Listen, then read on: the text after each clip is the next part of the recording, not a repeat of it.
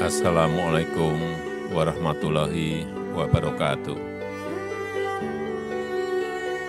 Atas nama pemerintah dan seluruh rakyat Indonesia, saya menyampaikan duka cita yang mendalam atas gugurnya 53 prajurit TNI Angkatan Laut di KRI Nanggala 402 dalam melaksanakan tugas di perarian utara Pulau Bali.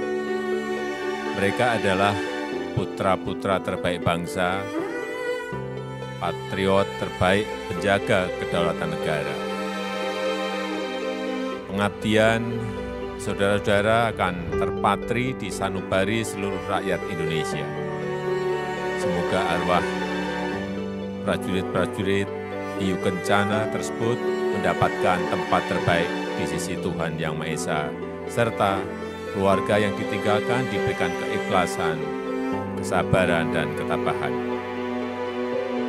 Negara akan memberikan penghargaan kenaikan pangkat satu tingkat lebih tinggi, serta bintang jasa Jalasena atas dedikasi pengabdian, serta pengorbanan prajurit-prajurit terbaik tersebut.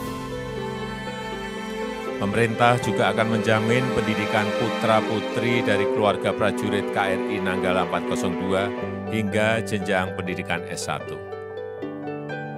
Saya juga ingin menyampaikan apresiasi dan penghargaan yang setinggi-tingginya kepada TNI, Polri, Basarnas, Bakamla, BBPT, dan KNKT serta seluruh unsur yang tidak bisa saya sebut satu persatu yang telah berupaya maksimal dalam menemukan KRI Nanggala 402 ini.